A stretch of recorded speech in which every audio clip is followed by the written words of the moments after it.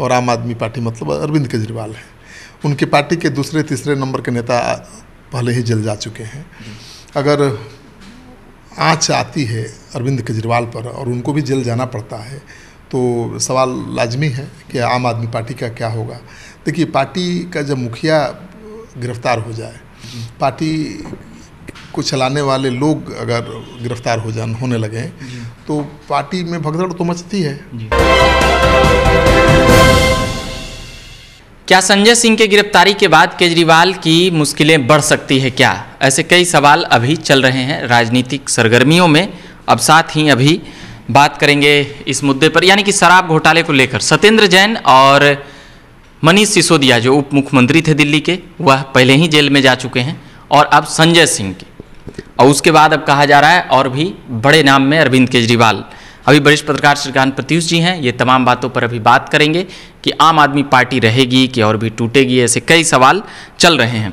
Sir जिस प्रकार से अभी संजय सिंह की गिरफ्तारी हुई और उसमें बिरासी लाख वाला मामला सामने आ रहा है कई और खुलासे हो रहे हैं तो केजरीवाल की मुश्किलें बढ़ सकती है क्या? देखिए आम आदमी पार्टी के तीन बड़े नेता जेल में हैं। जी। और ये सब नंबर टू थ्री फोर हैं। बड़े नेता हैं। सत्येंद्र जैन गए जेल मनी लॉन्ड्रिंग में। फिर इसके बाद मनीष सिसोदिया पिछले छः महीने से जेल में हैं और अब संजय सिंह को ईडी ने गिरफ़्तार कर लिया है।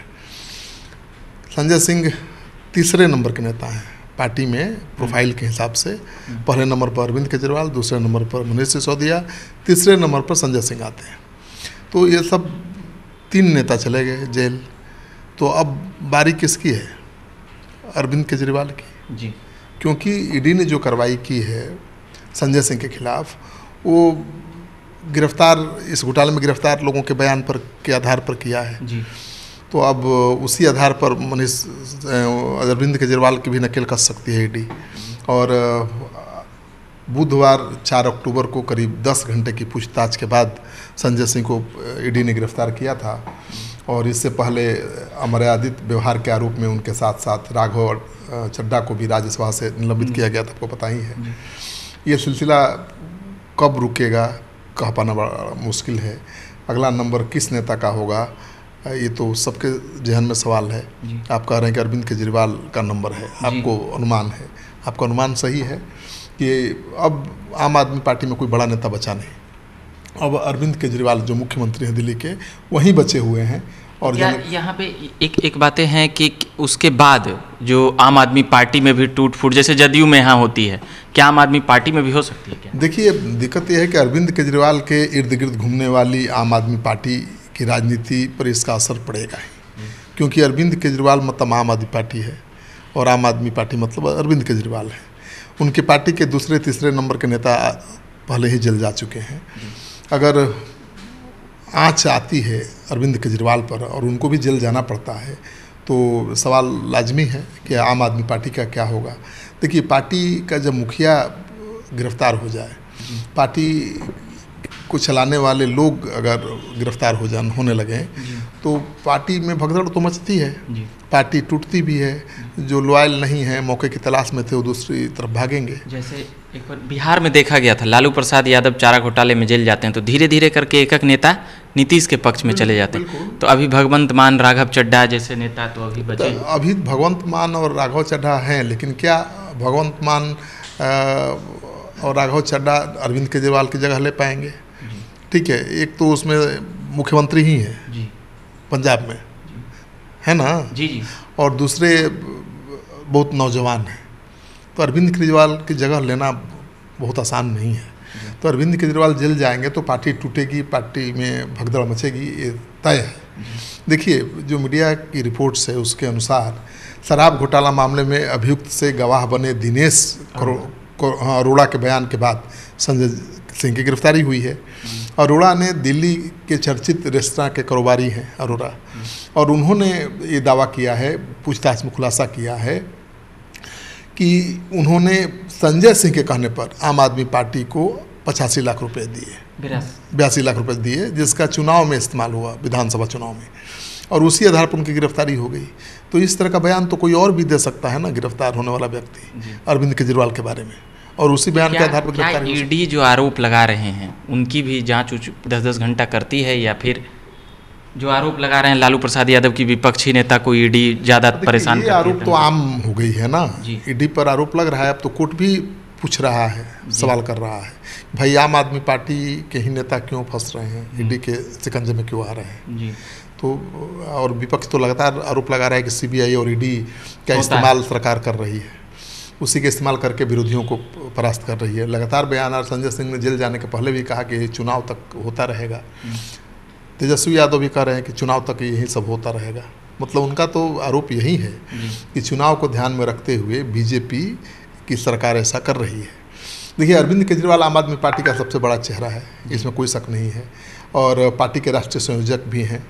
उनका नाम उनके नाम पर ही दिल्ली समेत दूसरे राज्यों में चुनाव लड़े जाते हैं। और ऐसे में अगर जाँच की आँच उन तक पहुंचेगी तो पार्टी का क्या होगा ये सवाल लाजमी है। आम आदमी पार्टी में सेकंड लाइनर लीडरशिप पूरी तरह से खाली है। अब देखिए जेडीयू में कौन है? मनीष सिसोदिया तो कई महीने से जेडीयू में कौन है नीतीश कुमार के बाद? कोई में कोई नहीं कोई नहीं। सेकंड जो जेडीयू नीतीश की जगह ले सके कोई नहीं है। तो वैसे ही आम आदमी पार्टी में भी अरविंद केजरीवाल के बाद कोई नहीं है उनकी जगह ले सके। हाँ दूसरे तीसरे नंबर के नेता थे जो पार्टी को बचा सकते थे मनीष सिसोदिया संजय सिंह। तो उन पर भी तो चिकंजा कस गया जेल चले गए। तो अरविंद केजरीवाल पर आँच आएगी तो पार्टी पर भी आँच आएगी। और जहाँ तक आपने पूछा कि राघव चड्ढा और भगवंत मान का की भूमिका अहम हो सकती है लेकिन राघव को लेकर सवाल है कि क्या इतनी कम उम्र में इतनी बड़ी जिम्मेवारी वो निभा पाएँगे? और भगवंत लगभग डेढ़ सौ दो सौ विधायक हैं अब भगवंत मान तो पंजाब के मुख्यमंत्री ही हैं केजरीवाल की कृपा से ही हैं। तो पार्टी चलाना मुख्यमंत्री बनना दोनों दो चीज़ें होती हैं। वो अपने बल पर मुख्यमंत्री नहीं बने हैं। केजरीवाल के कृपा पात्र हैं इसलिए मुख्यमंत्री बने हुए हैं। और वे मतलब उनके इशारे पर पार्टी चलती नहीं है। देखिए दिक्कत क्षेत्रीय पार्टियों के साथ अक्सर ये दिक्कत होती है कि एक नेता के नीचे। सहारे पार्टी चलती है। बिहार में भी वही हाल था लालू के सहारे आरजेडी चलती थी। अब उन उनकी जगह उनके बेटे ने ले ली है तेजस्वी यादव ने। नीतीश कुमार के सहारे पार्टी चलती है। उनकी जगह कौन लेगा? कोई सामने नहीं है नज़र नहीं आता। अरविंद केजरीवाल के साथ भी यही प्रॉब्लम है। अखिलेश सिंह मुलायम सिंह के बाद आ गए। वैसे ही तेजस्वी यादव यहाँ आ गए। लालू प्रसाद मायावती का कोई है नहीं उत्तराधिकारी जी। मायावती की जगह ले सके। करुणानिधि जैसे तमाम नेता ही हैं जिनकी पार्टियाँ हैं उन्होंने अपने बेटों को विरासत सौंप दी है। उसमें से कुछ हैं कामयाब हैं जैसे तेजस्वी यादव को यादव ने नेता मान लिया। पार्टी बच गई। लेकिन अरविंद केजरीवाल की जगह पर दूसरे पार्टी के नेताओं को जो जनता है मान लेगी नेता ये कहना बड़ा मुश्किल है। और आम आदमी पार्टी में ईडी कब शिकंजा कसेगी अरविंद केजरीवाल पर? ये बातें भी आ रही है कि अभी मतलब 24 से पहले या 24 के बाद इसकी जो देखिए आम आदमी पार्टी का कहना है कि ये चुनावी चाल है।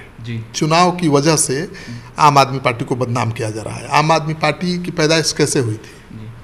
भ्रष्टाचार को मुद्दा बनाकर। और वो सारे मंत्री उनके विधायक कई मतलब रिजाइन हुआ भ्रष्टाचार पर गाड़ी नहीं लेंगे पूरा फ्लैट करोड़ों करोड़ के कर, ले रहे हैं कर रहे हैं पूरा सोशल साइट पे चलता है बात सही है देखिए आम आदमी पार्टी की असली चिंता एक्सपेंशन की है।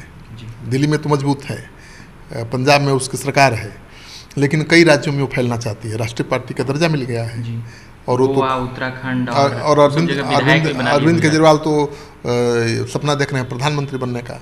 और सबसे बड़ी बात यह है कि मध्य प्रदेश राजस्थान छत्तीसगढ़ में चुनाव होना है अभी चुनाव होना है। जी।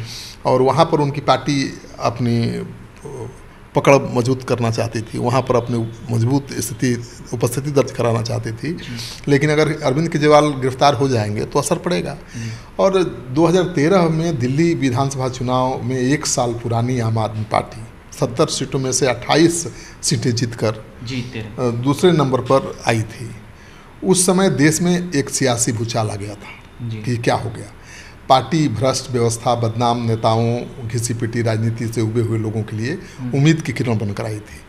लेकिन अब उसी के पार्ट उसी पार्टी के बड़े नेता स्वच्छता की बात करती थी और शीला दीक्षित के खिलाफ एकदम दस साल पहले कह सकते हैं पूरा बवंडर की वो चोर है। बिल्कुल साल 2015 में राज्य सरकार के मंत्री आसिम अहमद खान पर जब भ्रष्टाचार के आरोप लगे तो अरविंद केजरीवाल ने उन्हें बाहर का रास्ता दिखा दिया। मतलब वो लगातार संकेत संदेश देने की कोशिश करते रहे कि उनकी पार्टी भ्रष्टाचार के विरोध में आई थी। हाँ भ्रष्टाचार के मुद्दे की वजह से सत्ता में आई थी। वो भ्रष्टाचार से समझौता नहीं कर सकते हैं।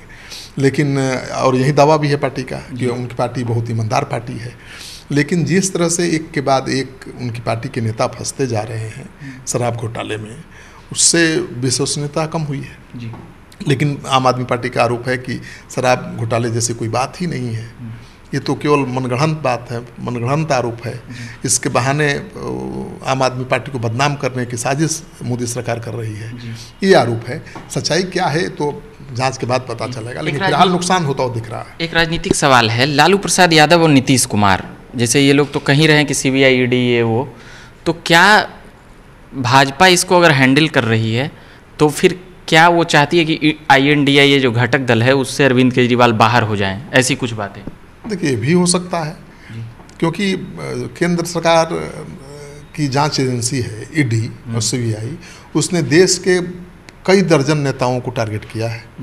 झारखंड के मुख्यमंत्री हेमंत सोरेन भी टारगेट पर हैं। ईडी लगातार उनके पीछे पड़ी हुई है। जी। और इसी तरह से नीतीश कुमार के भी नेताओं पर भी देखेंगे तो यहाँ बिहार में एक दो जगह हुआ बिल्कुल रेड हुआ है ईडी का। कई जेडीयू के नेताओं के घरों पर ठिकानों पर। विरोधी दल के कई नेताओं के ठिकानों पर लगातार छापे ईडी के पड़ रहे हैं। जब से आई ये घटक दल बना है तब से कुछ ज़्यादा हो गया है। ये देखा गया। तो चुनाव के समय ही ये गठबंधन बना है ना भाई। चुनाव में कितना देर है? छः महीने का की देर है। छः महीने बाद लोकसभा चुनाव होना है। अभी हाल ही में मैंने अगले महीने में आपको तीन विधानसभा राज्य में। राज्य में चुनाव होने वाला है। तो क्या और और तेज़ी देखेंगे ईडी सीबीआई का रेड इस देखी जा रही है देखेंगे क्या? तीन राज्यों में विधानसभा चुनाव है हाल में और ये चुनाव का परिणाम लोकसभा चुनाव का ट्रेलर होगा माना जा रहा है। इससे अंदाज़ा लगाया कि बीजेपी की हालत क्या रहेगी। नीतीश कुमार को भी इंतज़ार इसी बात का है कि जो तीन राज्यों में विधानसभा चुनाव होने हैं और उसके बाद दो राज्यों में और होने हैं। तो पाँच राज्यों के विधानसभा चुनाव के नतीजे क्या आते हैं? अगर वो मोदी के पक्ष में आ गए। नीतीश जी मार देंगे पलटी। अभी हम नहीं कहेंगे। नीतीश कुमार को सोचना पड़ेगा। जी। पलटी क्या है भाई? राजनीति में कौन पलटी नहीं मारता है? नीतीश कुमार जब तक मुख्यमंत्री हैं तभी तक उनकी अहमियत है ना? जी। मुख्यमंत्री की कुर्सी छोड़ेंगे तो कौन उनको प्यार करेगा? कौन उनको गले लगाएगा? तो मुख्यमंत्री की कुर्सी पर बने रहने के लिए जो कुछ भी करते हैं राजनीति में सब जायज़ है। कि हर उनकी जगह पर कोई होता तो वही करता। वही करता आज की राजनीति में। देखिए नीति राजनीति का मतलब नीति के राज की तो वही कर अजीत पवार के खिलाफ बोली थी फिर। आज की तारीख में राजनीति का मतलब नीति के राज की स्थापना नहीं है। राज में। राज सत्ता पर हासिल होना है। मैंने राज की नीति है ये। किसी तरह से राज पर कब्जा करिए। पहले था कि नहीं भाई नीति के राज की स्थापना राजनीति होती थी। अब तो राज पर कब्जा की राजनीति हो रही है। तो ऐसे में नीतीश कुमार इधर जाए उधर जाए क्या अंतर पड़ता है? ज़रूरत के हिसाब से फैसला लेंगे। लेकिन विधानसभा चुनाव का परिणाम काफ़ी कुछ असर डालेगा देश की राजनीति पर। चलिए, बात कर रहे थे हम शराब घोटाले में, जिस प्रकार से फंस रहे हैं दिल्ली के तीन आ- आम आदमी पार्टी के तीन अहम नेता। सत्येंद्र जैन उप मुख्यमंत्री मनीष सिसोदिया, ये लोग तो पहले ही जा चुके थे जेल। बीते दिनों संजय सिंह जेल चले गए, अरविंद केजरीवाल को लेकर सवाल तेज थी। वही तमाम बातें समझ रहे थे वरिष्ठ पत्रकार श्रीकांत प्रत्युष जी से। और भी तमाम बातें करते रहेंगे, पॉलिटिकल खबरें और भी लाते रहेंगे।